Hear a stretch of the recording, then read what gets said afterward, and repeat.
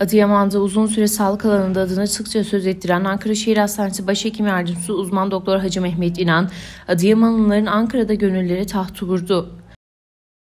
Adıyaman Devlet Hastanesi eski başhekimi ve Adıyaman Eğitim ve Araştırma Hastanesi kurucusu başhekimi ve 12 Haziran 2011 yılında yapılan seçimlerde Adalet ve Kalkınma Partisi Adıyaman Milletvekili aday adayı olan Ankara Şehir Hastanesi Başhekim Yardımcısı uzman doktor Hacı Mehmet İnan, Adıyamanlıların Ankara'daki gülen yüzü oldu. Kentte sağlık alanında ve Ankara'da sorunların noktasında kapısı sık sık aşındırılan Ankara Şehir Hastanesi Başhekim Yardımcısı uzman doktor Hacı Mehmet İnan'ı Adıyamanlılar bağrına basıyor. Adıyaman Devlet Hastanesi eski başhekimi ve Adıyaman Eğitim ve Araştırma Hastanesi kurucu başhekimi olarak görev yaptığı esnada 12 Haziran 2011 yılında yapılan seçimlerde AK Parti Adıyaman Milletvekili adaya dahil olan uzman doktor Hacı Mehmet İnan, kentte uzun yıllar sağlık alanında verdiği hizmetlerde adından sıkça söz ettirmeyi başarırken bölgedeki sağlık alanında söz sahibi olma hedefinde ilerledi.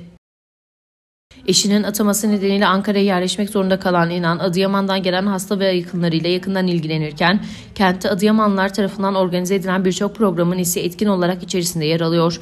Adıyaman'dan Ankara'ya sağlık sorunları nedeniyle kapısını çalan vatandaşlar ise şunları söyledi.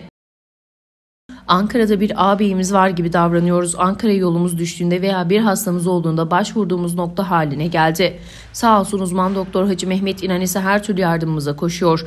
Benim babamı yatırdılar. Hacı Mehmet İnan'ın burada olduğunu biliyordum. Yanına uğradım. Derdimi anlattım. Sağ olsun hemen ilgilendi. Elinden geleni yaptı.